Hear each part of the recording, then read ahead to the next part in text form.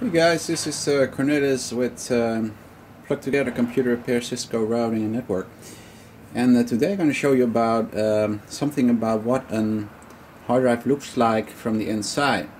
Um, I guess most of you know what it looks like from the outside. Here we have an, uh, a Western Digital 50 gig and this is the, the back. Um, what I did today here is um, I opened it open the drive itself and um, if you open the drive you can see uh, what's in there and what makes your data appear in your computer. Uh, in, inside the hard drive we have two, uh, two physical disks that depend on the type of hard drives and um, I took one out already, this is one and it looks a bit like an like a CD. Um, however, it's not a CD. It's it's much much thicker. And see if I tick it on that metal, hear like a tinkling noise.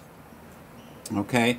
Um, so we're going to talk a, lot, a, bit, a little bit about the mecha mechanical defects and that's causing uh, hard drive hard drives to go bad.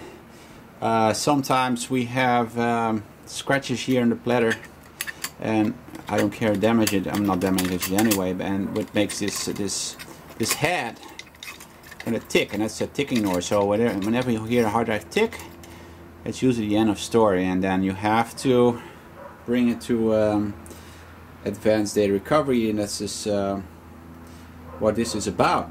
Okay well yeah it's usually easy to recover data from a drive that works by just uh, hanging out to a different system using these SATA connections.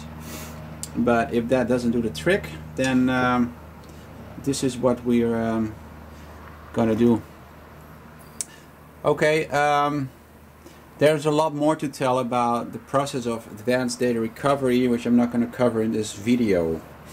Um, there's a lot to it. It's not just a matter of um, taking these these disks out. Um, you have to uh, fiddle around with a lot of different different things okay? We have this um, this chipboard here which which is located on the other side okay and um, sometimes what we do is we swap we swap, out these boards replace it with different ones um, it's um, it looks more simple than it really is and that's why advanced data recovery is, is usually uh, quite pricey Okay, I hope this has been informative for you and I'll see you next time.